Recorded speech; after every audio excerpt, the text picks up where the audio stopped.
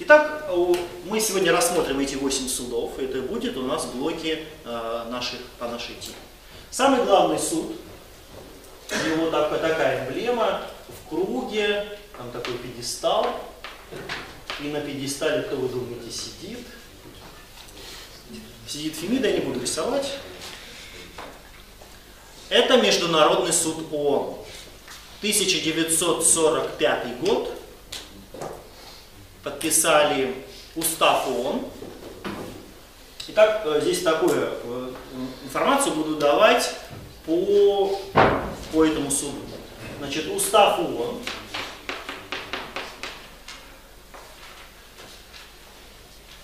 еще один источник, который вы также знаете, потому что это источник про источники. Вы очень долго эту статью 38 запоминали.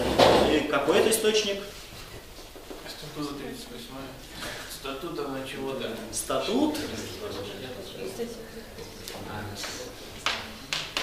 Статут Международного суда ООН. Вот эти два основных документа, на основании которых и строится работа этого суда устав ООН, где дана структура суда, полномочия и статут, где э, более подробно расписана процедура. То есть как они решаются международные споры. Состав. Помните корабль, у нас там было э, в одном из окошечков написано суд и цифра какая? Ну, вспомните. Кто помнит? Итак, 15 судей. 15 судей, избирающиеся на 10 лет. 15 судей, избирающиеся на 10 лет.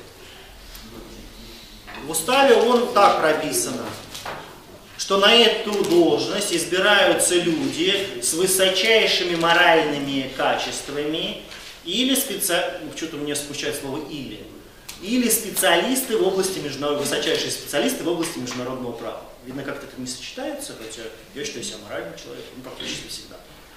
Вот, 15 судей, и у них еще есть такая штука, я хочу термины, которые мы уже использовали, и сюда еще прикрепить. Адхок. Кто знает, что это такое? Одно касание. Это когда судьи берут на одно заседание. Для одного дела. Ну, как правило, бывших судей, например, они 10 лет проработали и ушли в отставку. И тут какое-то сложное дело, а знают, что он-то, блин, специалист по морскому праву. Говорит, слушай, приходи. И он приходит, и в одно касание им помогает, также он имеет право голоса, голосует, то есть его призывают вот на это дело. Больше я в других судах не видел такого, такой, такого института, а здесь такой есть, потому что это хороший. Следующее. Где он находится? Кто знает, где находится Международный суд ООН? Гага. Гага. Гага где? Ну, планета Земля, где? Да, Нидерланды. Гага в Нидерландах. Если вы, э, не знаю, привыкли или нет, в группе по международному праву 2015-2016 на аватарке этот суд и стоит. То есть это, это он и есть. Это Международный суд ООН, это здание, вот это орехового дерева, помещение отделано, это и есть Международный суд. Э, его полномочия. Разрешать споры. Особенно здесь. Только между государствами. То есть частник не может обратиться в Международный суд. Только государство. На кого? На другое государство. И понятно, что только те государства, которые стоят в ООН. То есть только ООНовские государства. И еще у них есть полномочия давать заключения. Они так называются консультативные заключения.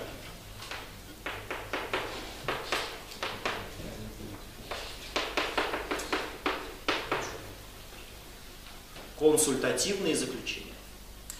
Э, что-то он не понимает, например, э, можно ли там испытывать ядерное оружие, не понимает интерпретации, необходима интерпретация каких-то договоров международных.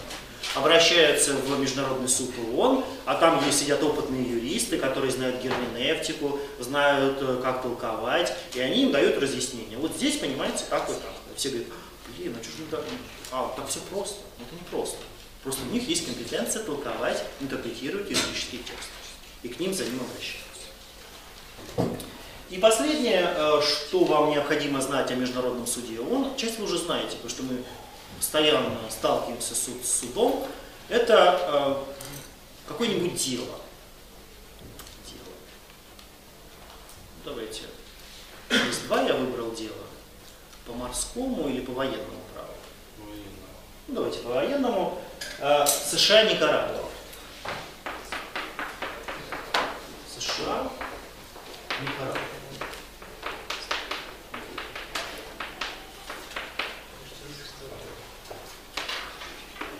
86 год, дело 86 года.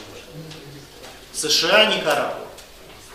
Очень яркие, яркое дело, и когда я вчера его еще раз пересматривал, у меня такое ощущение, что я уже где-то недавно это видел. Я вспомнил где, потому что это очень актуально и постоянно повторяется. Я так вижу. Идея такая. У США э, были, я не знаю, остались или нет, но на тот момент были союзники э, по американскому континенту. Сальвадор. У них был договор с Сальвадором. А Никарагуа тогда это было коммунистическое, ну, коммунистическое образование. И Никарагуа спонсировала повстанцев на территории Сальвадора. А США говорит, а, если вы спонсируете иностранных, ну, вы спонсируете вот этих террористов, тогда мы по договору поможем Сальвадору, и США напала на Никарагуа. Никарагуа обращается в Международный суд и говорит, на нас напали. Ну это явно надо решать.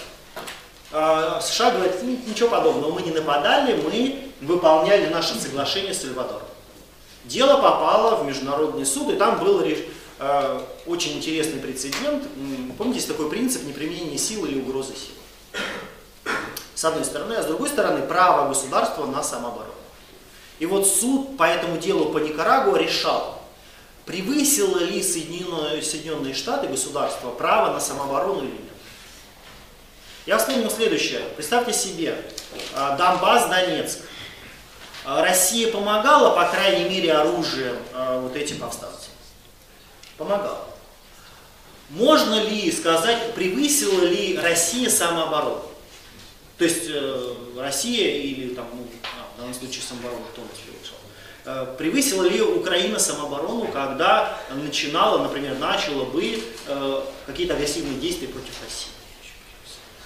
Вот дело Никарагуа показывает следующее, то там надо смотреть, какая была сила воздействия.